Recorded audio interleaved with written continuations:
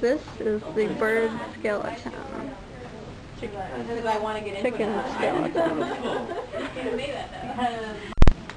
This red label here is the tarsometatarsus.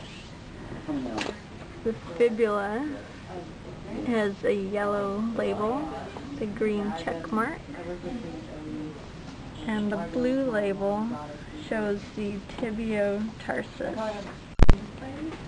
The little yellow dot on the green circle there is the keel, also known as the carina.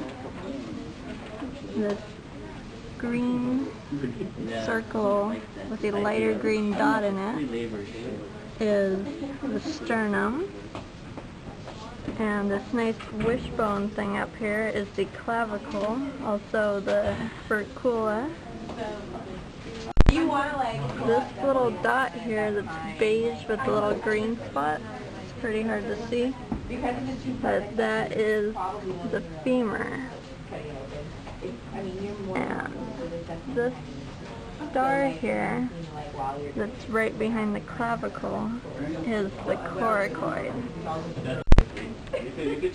This yellow dot here is the ilium, You're not supposed to Plus, I'm tell. starting to have less and the blue dot is the ischium. I understand. No, This thing right here, the green dot, is the split bone? is the You can't tell which one's pygostyle, and these are the caudal vertebrae. This really hard to see white dot right there is the sacrum. And up here on the wing, we have the check mark there for the humerus.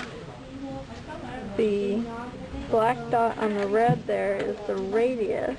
And then we've got this bone here with the yellow sticker and the green dot on it. Remember, remember, don't that is our ulna. Blood keeps going through it. I can't do it. Located between the coracoid, furcula, and scapula of each side is a hole called the foramen triosseum, which is this lovely hole right here. See the pipe cleaner sticking through it.